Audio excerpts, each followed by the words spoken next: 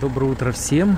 Сегодня у нас небольшая история о наших помощниках, помощниках с других стран, э, ветеринарных коллег, которые приобрели в Германии вот такую машину и прислали ее ветеринарам э, в Украину, чтобы ветеринарные врачи оказывали помощь по лечению, по спасению животных.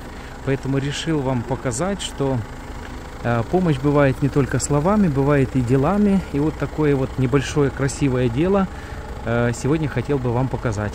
На этой скорой помощи ветеринарные специалисты будут оказывать помощь по всей Украине, э, оказывать помощь по транспортировке, лечению, профилактике и так далее. Ну вот такой вот автомобильчик сегодня приехал в Одессу. Дальше он едет в другие города, и будет в дальнейшем видео и фотоотчет по работе этого автомобиля. Вот такой автомобильчик поедет помогать нашим собачкам по всей Украине.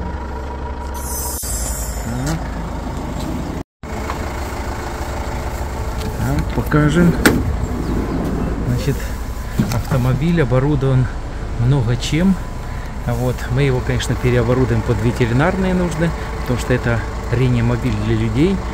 Вот, и в дальнейшем он будет помогать, помогать всей Украине.